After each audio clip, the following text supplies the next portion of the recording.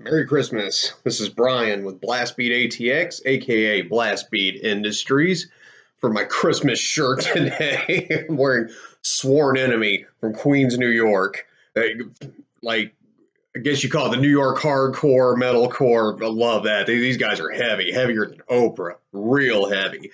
But that's not what we're talking about today. Today is the Blastbeat ATX guide to complete sets. Not guide, the Blastbeat ATX method of storing complete sets. How about that? And what set are we going to do today?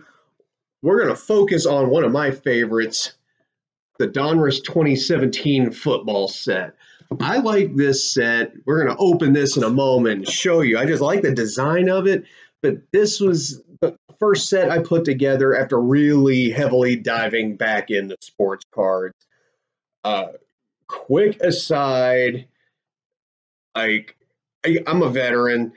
I did not think the Colin Kaepernick taking a knee thing was funny. I had written off football. I was one of those like, if this is what this crap's going to be, then I don't want any part of it.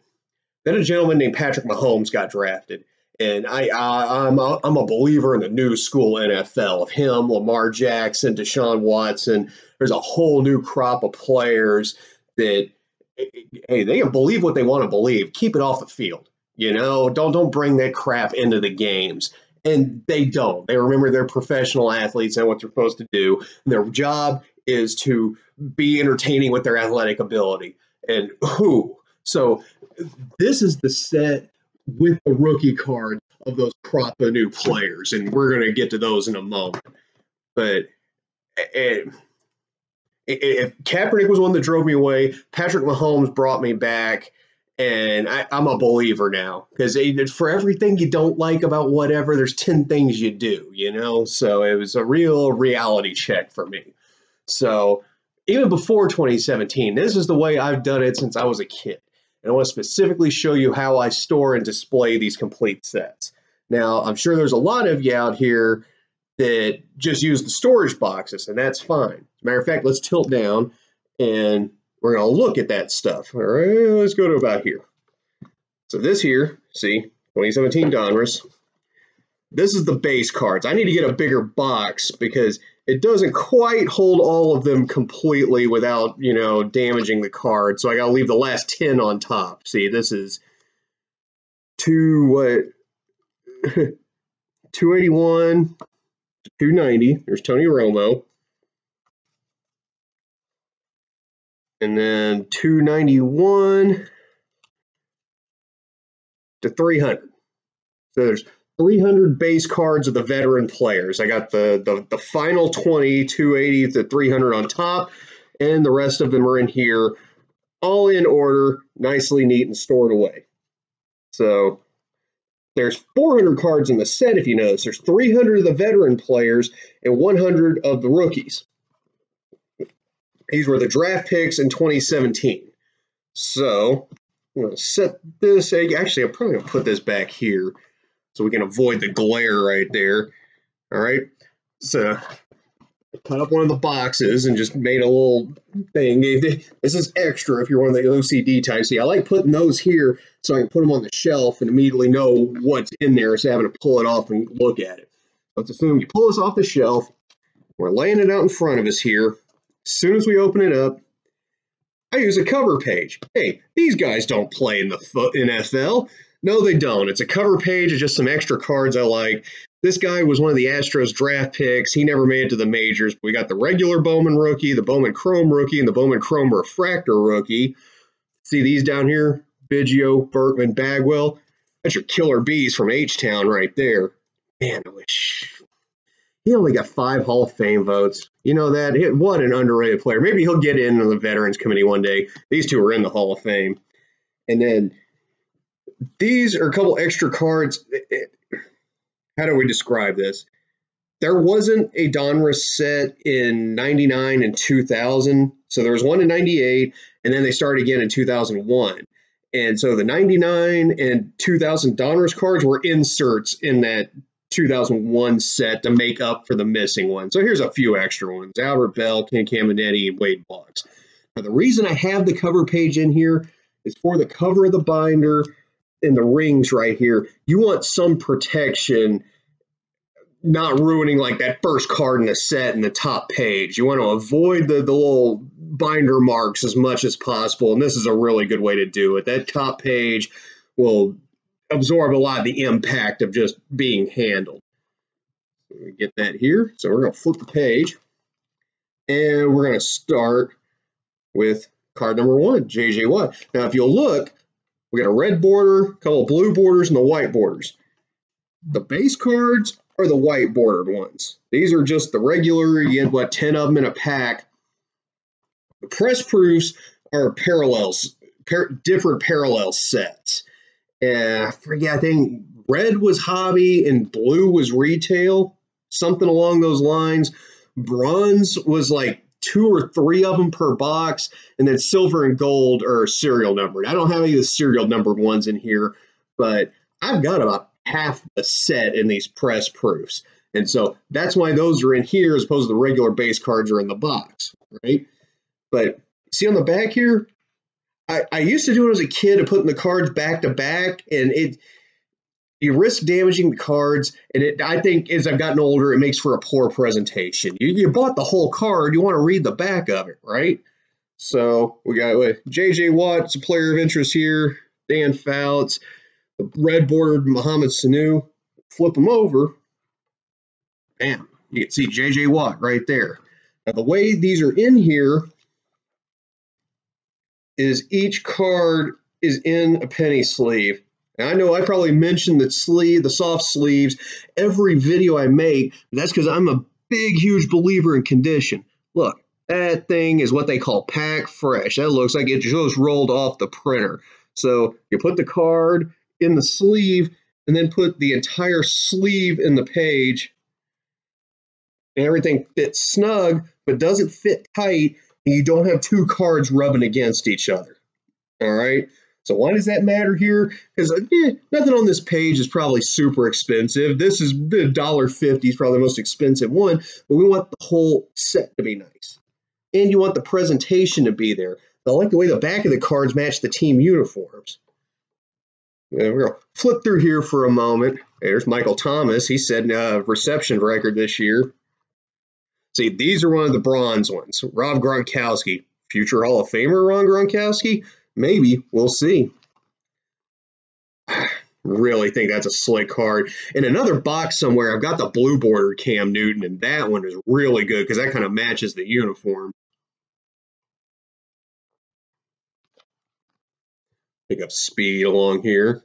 Yeah, red border honey badger.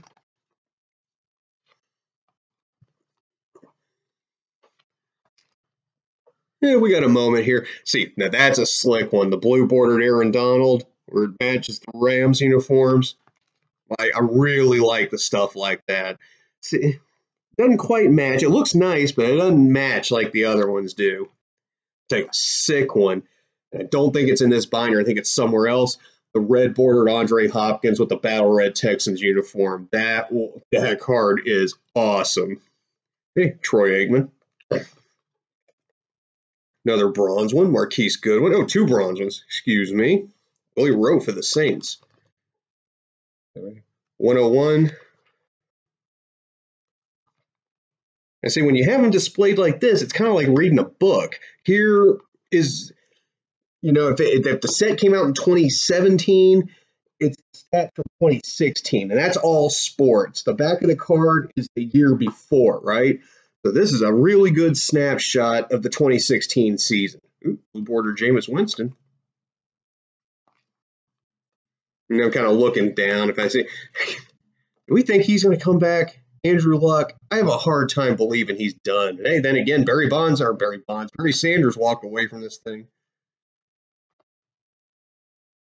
A couple of red borders right there. Now, I'm this is why we're on the internet and we look this up.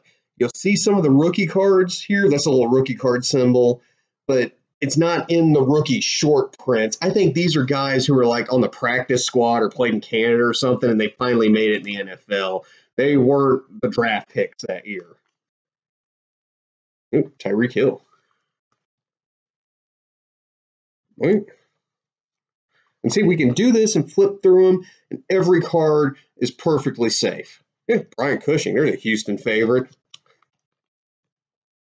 I think he's a strength coach now. He, he has some kind of job with the team. All right, 226. Odell Beck. That's a slick one. Odell Beckham Jr. That passed Tom Brady. I think it passed Tom Brady.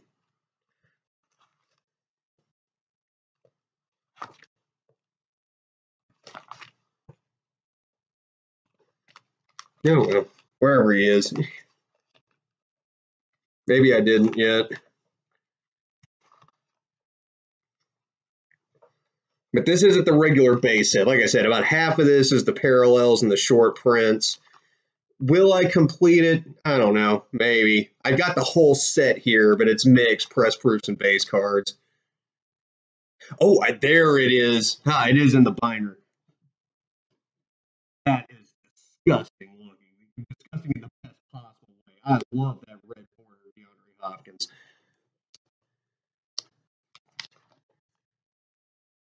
Tom Savage.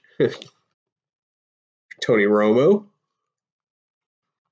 Okay, so let's flip back here.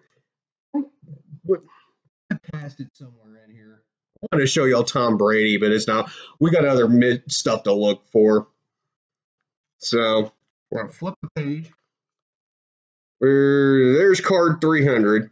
So that's the end of the regular uh, veteran players, and we get to the rated rookies. Now a lot of these are the press proofs too. That's the red border. That's the blue border. Josh Reynolds, there, there's a stud from the Rams. He had a catch in the Super Bowl, kind of like Kyle Tucker with the Astros. No matter what he does in the rest of his life, he had a reception in the Super Bowl. Marlon Mack's, one of the rising stars of the NFL. DeShone Kizer's been a backup for three different teams. Yeah. yeah.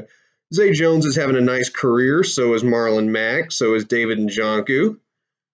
There's the there's the bronze press proof. It's not the entire border. It's just that part where in the regular cards where it's white, that's what gets filled in. Mike Williams, he's a very good receiver. Leonard Fournette. Oh, the red border Christian McCaffrey. Watch out for him in the future. We passed Mitch Trubisky? I don't think so. Okay, that right here. Let's pull that one out this is the attraction of the whole set. Here, where everything else in here, all these other rookie cards are maybe three, four dollars. Patrick Mahomes rated rookie. That's gonna set you back at least twenty bucks. This uh, of the new school, new generation stuff, this is probably my favorite card. Like I said earlier in the video, I got a lot of emotions tied up in here. No, I have several of these, and none of them are for sale. Because I think unless something really crazy happens, we're talking a unanimous selection for the Hall of Fame. Unlike Mitch Trubisky, who will not be. He may turn out to have a fine career, but phew, he ain't Patrick Mahomes. I'll tell you that straight up. And please do not let me pass. To There's the D'Onta Foreman press proof if he hadn't torn, what did he tear his ACL or his hamstring or something? He had a bad injury that kind of hit him in. Hey, here's Deshaun Watson. Here's the pride of Houston, Texas. Curtis Samuel's a good receiver. So these were the rated rookies, right? And then we have the later round draft picks are just regular rookies. And like Zach Cunningham starting for the Texans. There's a lot of these guys that are, you know, going past that rookie contract. Does I say? Most football players last three years. Some of these guys are going beyond that. There's Taco Charlton of the Cowboys, but I don't know how many Hall of Famers are coming from this half of the rookies. And these are a lot of guys who are going to be playing in Canada and, you know, going back and coaching at their alma mater, that kind of thing. I know we are getting close to the end. Ooh, Marshon Lattimore. Yeah, he's starting for the Saints. Yep. And we get to the last page. Takkarist McKinley is card 400. Boom. And I just used some of those contest entries to fill up the page. So that right here, if we look at it, that's the Donruss set. And we just flipped through the whole thing in a few minutes. So you're thinking, what are these pages back here? These are the duplicate rookies, another set of them. There's a few missing. I don't have a second Mahomes in here, for in, instance, and there's a couple I need to fill in. But these are base card rookies that go with the base card set. I'm already having trouble filling the 300 cards in here. I definitely don't want to do anything to ruin the condition on these because hey, they don't go in the NFL Hall of Fame. One of these guys is gonna, you know, marry Mariah Carey one day, or start a sitcom, or you know, invest in some company and make a billion dollars. Someone here will be known for something else later in life that will attract interest. And that's what this whole collecting thing is, is attracting interest. The card in and of itself, you know, uh, how do you say it? it there's not a lot of intrinsic value. It's not made out of silver or something. It's the value a, a human assigns to it because they went to a Panthers game and really like Christian McCaffrey or you know, we met Mack Hollins at the mall one day. Something like that. That stuff goes a long way, especially if you're a, a seller as opposed to just a collector.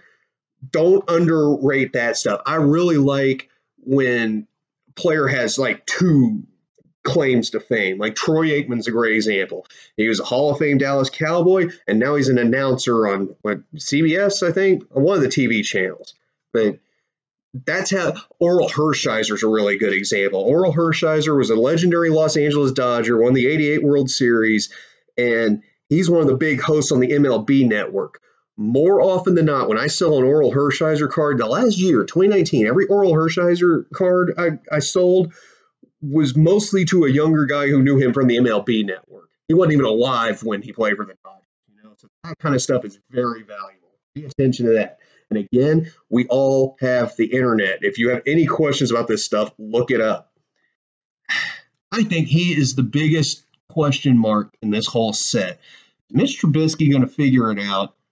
Because playing for the Bears is kind of like playing for the Yankees. There's a lot of pressure on you just the second you walk in the door, you know? So, yeah, there's still a few of these rookie short because the rookie short prints are only one per pack and I'm still missing a few. If I can find a deal, I may pick them up, but I don't know how many more boxes of this stuff I'm going to get. I've already got two complete sets, and really the only card I would want out of here that I don't already have is more Mahomes rookies, and I'd be better off just buying those than because the prices of the boxes have spiked. I think the hobby boxes are like 150, 180. You can still get halfway decent deals on the retail blaster boxes, but even then, they're like forty dollars a piece. I let's set those down.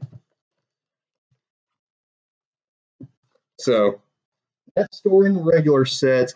If you really put a lot of love and effort into it, and especially if it's like a condition sensitive set, again, we'll go through this one more time. And if, if you will indulge me here, I would love to find where that Tom Brady is. I can't remember what card number he is. Yeah, Drew Brees. We'll do Drew Brees. That's close enough. We'll do Drew. So we got the blue border Drew Brees press proof. That's a, a, nice card of a future Hall of Famer right there. Your all-time touchdown leader, at least until Tom Brady passes him in a couple months.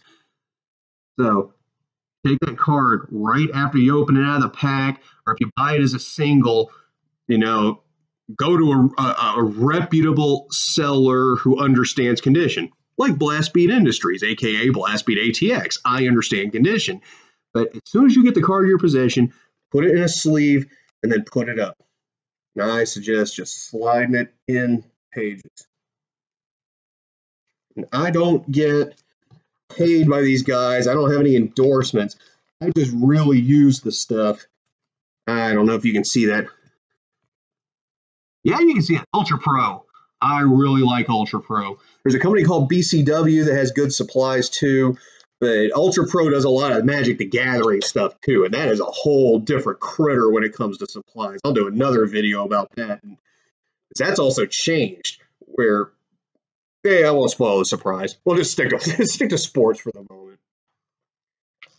But this is now ready to go. And I also like these binders too, where the ring isn't in the spine, it's on the back.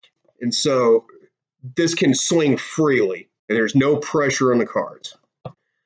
So, hope you learned something today. It's my Christmas present to you. Hope everyone, you know, whether you're into sports cards, magic, comic books, vintage guitars, muscle cars, you know, cryptocurrency, whatever you're into. I hope you're having a good year going forward. I hope you got a lot of nice Christmas presents today. And most importantly of all, I hope everyone's staying safe. We're still in that time of the year where now we've gotten through the office Christmas parties with glug, glug, glug, and now it's New Year's parties where all the same maniacs are still on the road. So watch out for the other guy, be safe, and come back here, watch more Blastbeat ATX with me, Brian, Blastbeat Industries. See you later.